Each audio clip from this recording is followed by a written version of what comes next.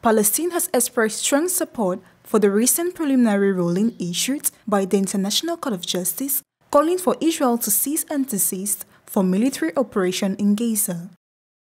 The Palestinian United Nations ambassador, Riyad Mansour, has joined the Arab representatives in calling for the immediate implementation of this ruling to address the escalating humanitarian crisis in the region.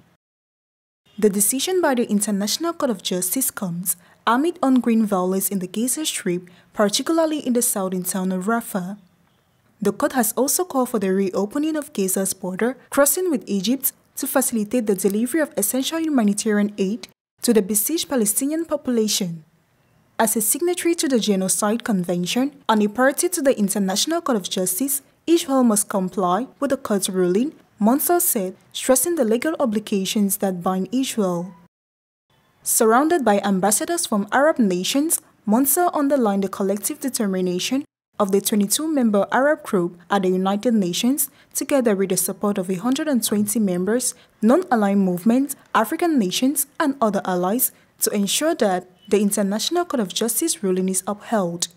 These groups are determined to press for the implementation of the United Nations Security Council and General Assembly resolutions calling for an immediate ceasefire in Gaza.